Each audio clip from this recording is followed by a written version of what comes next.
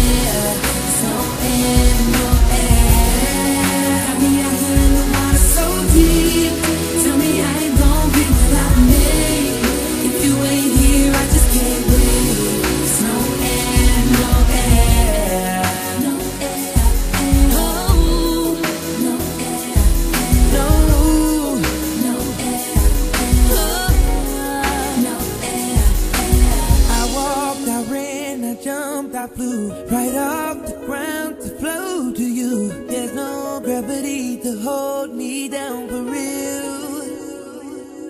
But somehow I'm still alive.